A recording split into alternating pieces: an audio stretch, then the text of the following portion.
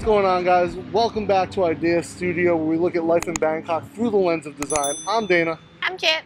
And this is episode three of our Exploring Bangkok by the BTS series. You can see we have a station behind us and that is all the way south here. We're still in Samut Prakan and that is Prakasam. Prakasa. Prakasa. Yes. Oh, I got one. so yeah, we're out here at Prakasa and if you guys have been watching the series, you know that one of the things we've been talking about is that all of these stations are along a Klong.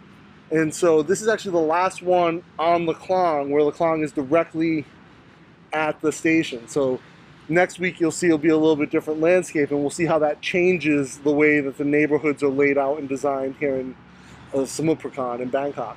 So we're gonna look around this area today. There's not a ton, but this is a very commercial area. It's built up, there's a big C, there's a Robinson Plus, a condo. a lot of condos. We're at a market right now. There's a lot of things here and it's gonna be really interesting. This is sort of the first, the first step into a more urbanized area along the BTS. So let's go check it out. You guys know that I love seeing bikes and scooters used for last mile transportation, especially to get to the BTS. It's one of my favorite things. So right across from the BTS station, you guys can see the Robinson on the other side of the Klong. Huge shopping center, huge lifestyle center. And right next to that is this massive condo. This thing's huge. It's the only condo right on Sukhumvit in this area, and it's pretty nice looking. And right next to that condo is this market, which is a really cool sort of night market. It's actually called the Black Market, I guess because all the booths are black, but a fun play on words.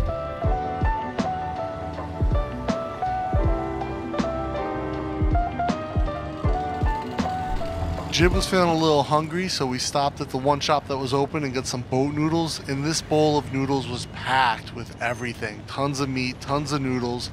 I'll throw a card up above to the short we made about it. Jib loved it, and it was a great value. This Robinson's pretty massive. Of course, they have a ton of parking in front, and there's actually like seven times as much parking in, in the back. And you can't have a Thai shopping center without tuk-tuks and motorcycle wins.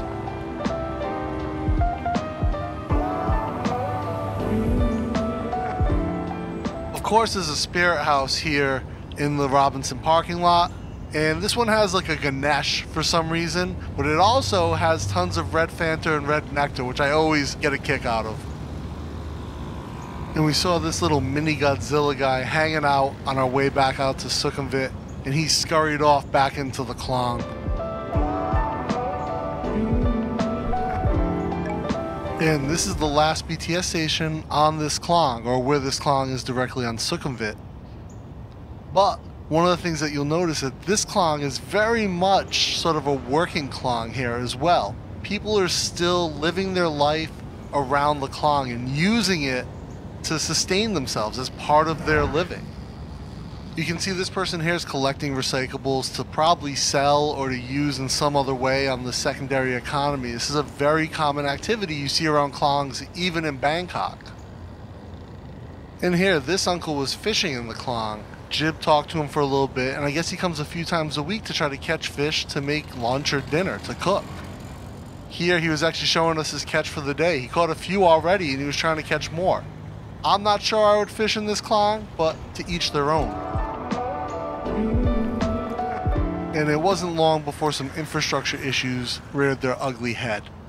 This is a big reason why drinking water in Thailand leaves the facility drinkable, but the transportation and distribution network for that water compromises it.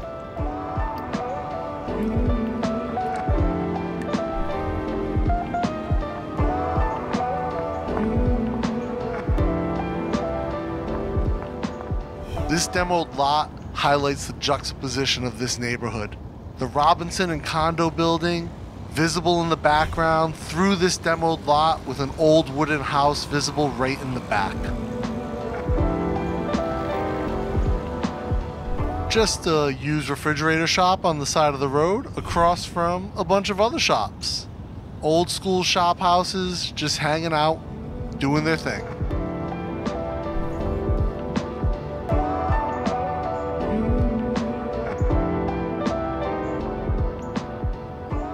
These sandbags were the first indication that flooding is a major issue here. Keep that in mind because this will be relevant later. I absolutely love these wooden Thai houses, this old school wooden Thai house. This one, not so much, but to each their own. It is baller though. Obviously, some truck drivers live in the area, which makes sense as this is really an industrial area.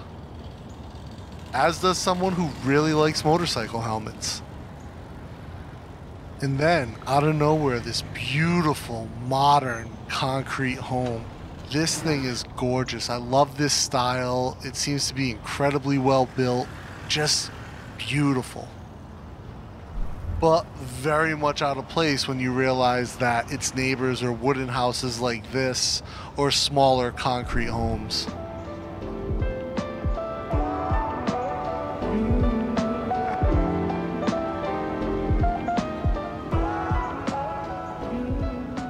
after walking for a while, we came across this school which we could see for quite a ways away because they had this tower that is pretty visible. It's only four stories high, but very visible in this area. Not far from the school was a lot of very rural land. This person had a sign that asked not to dump more wooden Thai houses, this sort of classic architecture, and a little klong. You can even still see the school's tower in the distance from here. Another great wooden Thai home as well. I love this style where it's open on the bottom, you live up top. And man, what's with all the motorcycle helmets on fences and posts in this neighborhood? And if you're wondering, this cart is selling rats to eat. So most likely field rats. He's either selling them raw so you can cook them at home or grilling them for you. The uncle that owned that rat cart came out and talked to us. He didn't want to be on camera, but he wanted to talk to us about how this invasive water lily species has clogged up all their klongs. So even a little bit of rain floods their whole neighborhood up to a meter.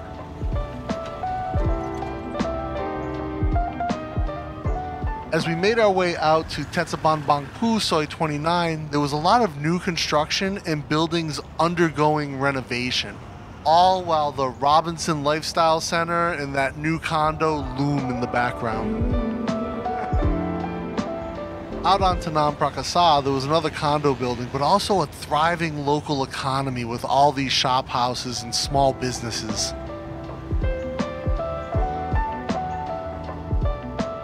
However, the food and beverage sector has not done as well during the ye old situation. This seafood buffet looks like it's been closed for quite some time. Not the healthiest looking open waterway we've seen recently. And when we made it back up to the Sukhumvit, we came across this cool little elephant shrine right on the Klong.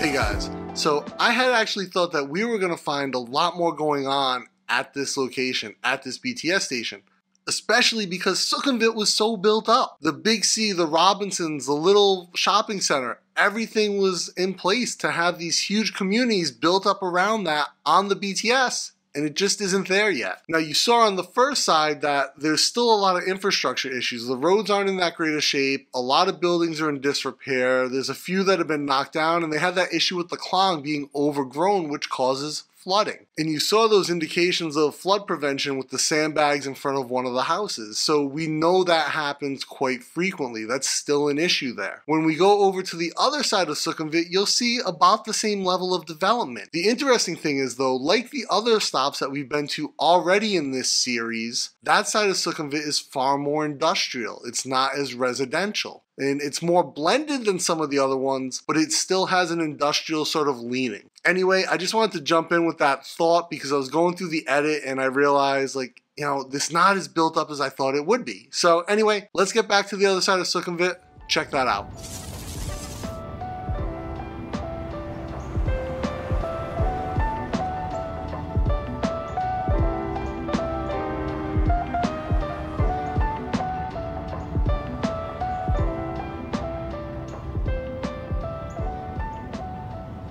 Yet another old Thai phone booth. I just love these things. So nostalgic. It's a cool little door here on Thetsaban Bang Pu Soi 20. And uh, some street food vendors. This one just giving a dog some shade and a som tam auntie. Directly across from an old wooden Thai house. This apartment building has a secret. Did you catch it? This cool old Mini. I wish it wasn't covered. I'd love to take a closer look at this thing. I love these cars. Very basic but typical Thai industrial architecture. These buildings are generally used for factories or for storage. Another empty lot waiting to be developed. Check out this hanging garden and these gourds. They're huge.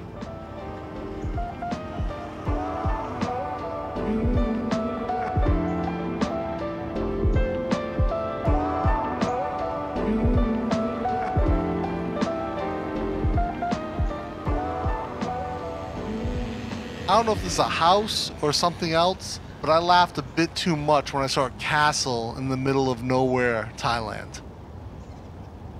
These are some of the same buses that we saw at the Samut Prakan bus depot in episode 1. I'll throw a card up above.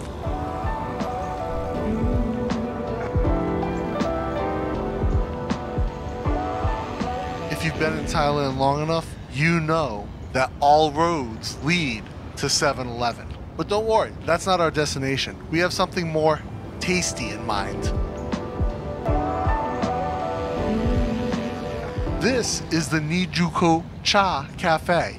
As you can see in the background, it's also a laundromat. And that's fine because they have good coffee, good cake, at very reasonable prices. What more could you ask for?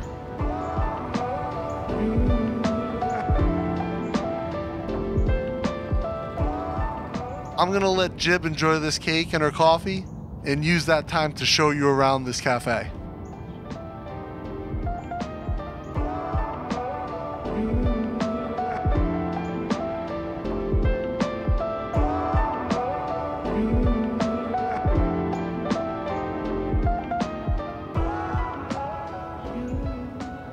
Before heading home on the train, we stopped at the garden center at Big C because Jib wanted to grab a new hanging plant for our garden, and they had tons of choices. There were probably five or six different flower shops or garden shops in the area.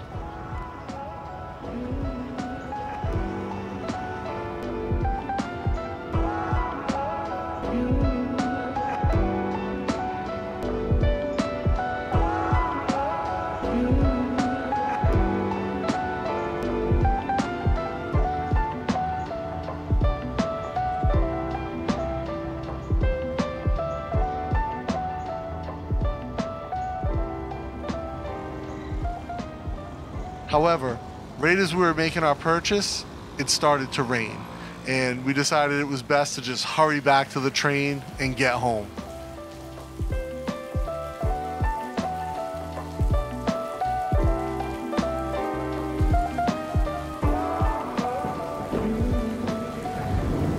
If you've never experienced tropical rain, it comes in fast and the downpours are incredibly heavy. That's why we get so much flash flooding here in Southeast Asia. A storm like this might last anywhere from 20 minutes to a few hours and will drop more rain than most parts of the US or Europe will get in a month.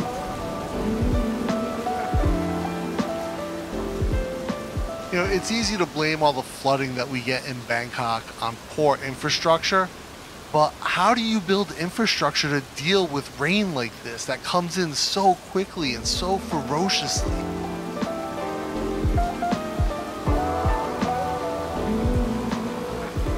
We hope you guys enjoyed this episode. If you did, please like and subscribe and share this video. We'd appreciate it. We'll see you guys at the next station.